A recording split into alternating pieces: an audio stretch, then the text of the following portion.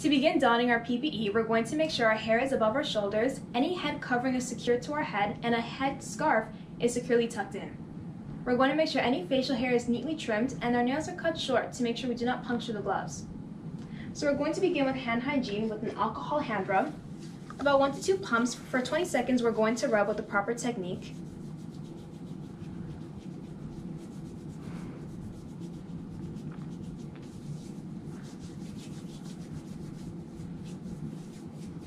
Until it's thoroughly dry. So now the first step is to don our gown. When donning the gown,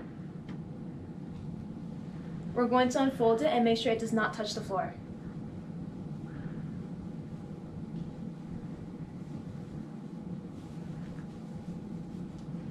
We're going to tie it securely at the waist and at the neck, and we're going to make sure our back is completely covered, and then we're going to roll down the sleeves.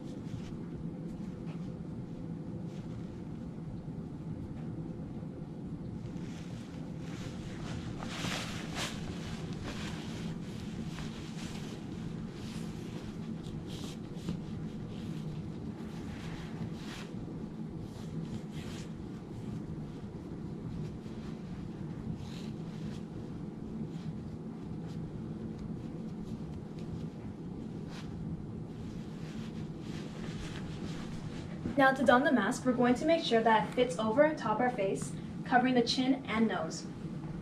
So to do this, we're going to adjust the metal part and shape it to the bridge of our nose. So the straps are going to go over the ears.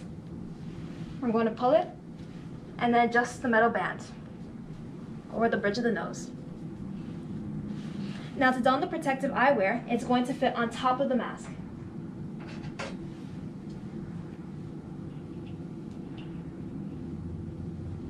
Now to don clean gloves, we're going to make sure that's the appropriate size, not too tight and not too loose.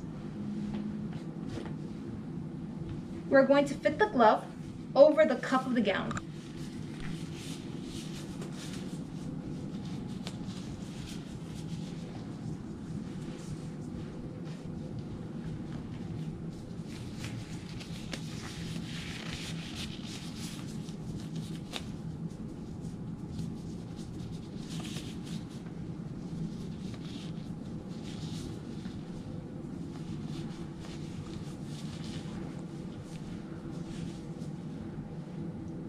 Now I'm ready to provide care.